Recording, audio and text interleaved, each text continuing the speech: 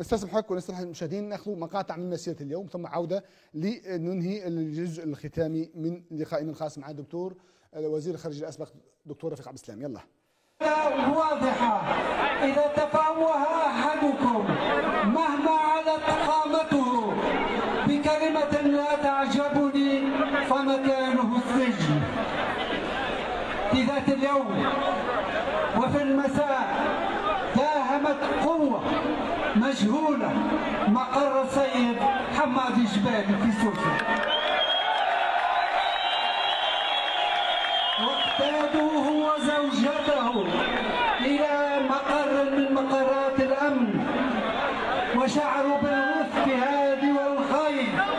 حتى أن زوجته شفاها الله أصيبت بوعكة دماغية وهي موجودة الآن في إحدى المس... في إحدى المساحات فهنيئا لك يا سيد قيس سعيد هاهم الضحايا يتتالون لأنك تريد أن تستبد بنا هيهات أن تستبد بنا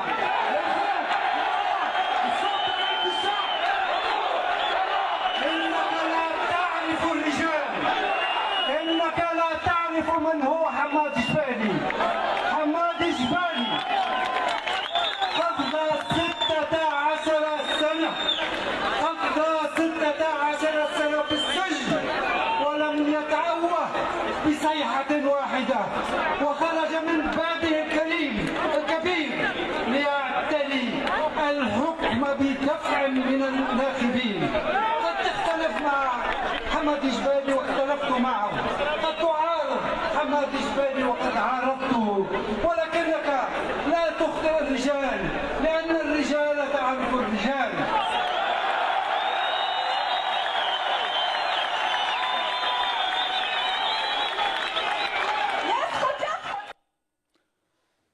أستاذ أحمد نجيب الشاب بقياده جبل خلاص آه، يقول سعيد هيهات أن تستبد بنا إنك لا تعرف الرجال. وهو كذلك. توصيف دقيق. لأنه قيس سعيد فعلا لا يدرك ولا يعرف معنى الرجال. كل يوم يعني يوسع آه، صف الخصوم. وكل يوم يستهدف قوة جديدة أو شخصية جديدة. يعني حماد جبالي تقريبا كان ملازم الصمت المدة الماضية. لكن ال- الرجل لم يترك له مساحة يعني استهدفوا في قوته استهدفوا في عائلته استهدفوا في سمعته لأنه قيس سعيد لا يترك أحد.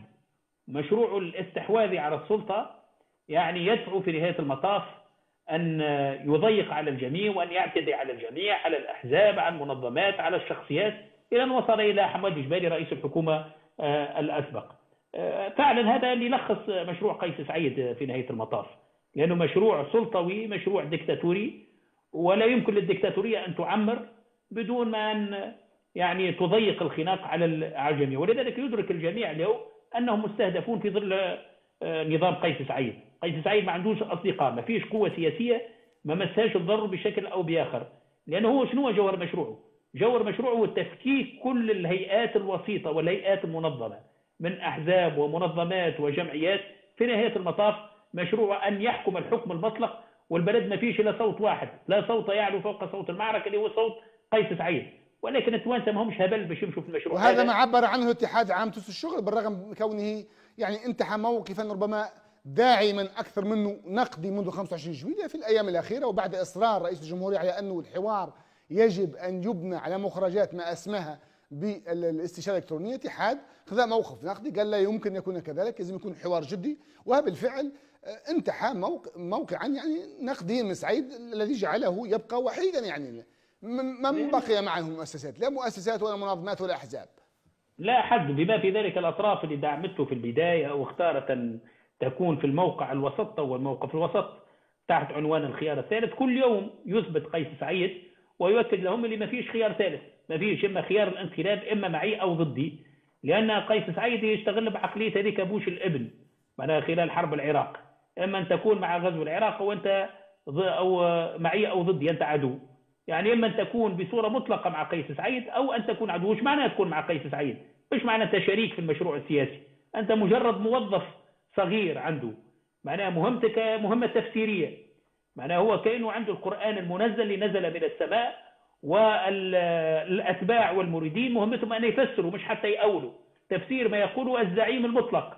لأن قيس سعيد يشوف روحه شخص ملهم ربما نبي ينزل عليه الوحي من السماء عنده مشروع قال أحد المفسرين شو اسمه شفتر ولا إيش؟ شفتر اللي هو نعم اللي هو سيغير وجه البشرية. قيس سعيد يتصور نفسه عنده مشروع مش لتونس سيغير وجه التاريخ ووجه البشرية. ولذلك دائما يتحدث عن المحطات التاريخية ويتحدث عن تغيير مسار التاريخ. عايش راجل معناه في أحلام و...